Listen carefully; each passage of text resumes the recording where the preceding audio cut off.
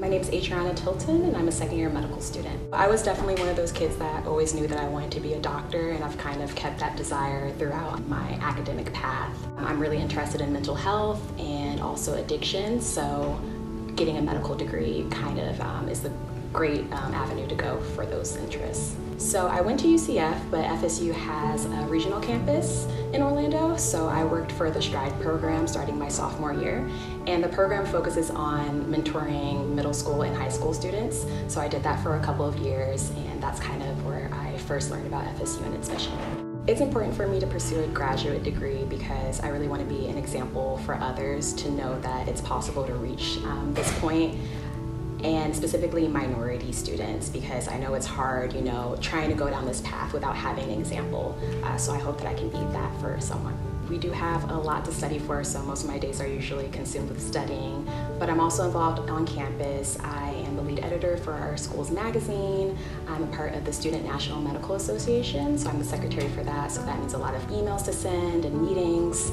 Um, I also do photography as well, so sometimes, like uh, whenever I have free time, I take pictures of my friends and things like that. So, my passion is really helping the underserved, specifically with mental health services. So, over the summer, I spent some time at Columbia University, their medical school, and I worked in a few different subspecialties in psych. So, I was basically, you know, seeing patients, working with them, working with physicians, and we also did a lot of community service work in New York City as well.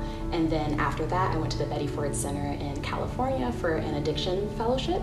So, we were basically um, going through rehab with patients that were also um, that were in rehab. Um, so we were going through their day by day, um, their process of recovery, and attending groups with them. So it was a really intimate experience, and it was really one of a kind and eye opening to see uh, recovery through the eyes of the patient.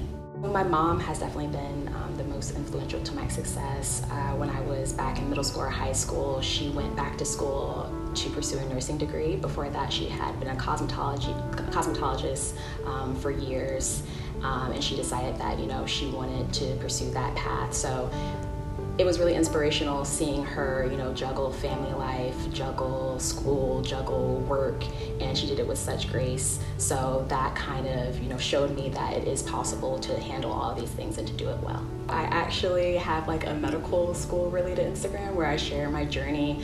I started it um, during my first year of medical student, uh, medical school, and um, I basically just show my day to day life.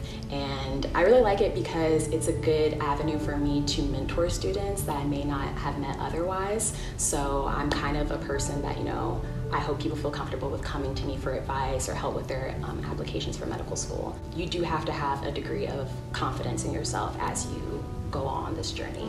You have to have faith that you know you will reach the end, and you also need people that believe in you because you know you're bound to have times where you're down or you don't feel like you're able to go on. So have people that can feed into you and can, you know, kind of boost you up and let you know that, you know, you deserve to be here and you just have to keep pushing. I think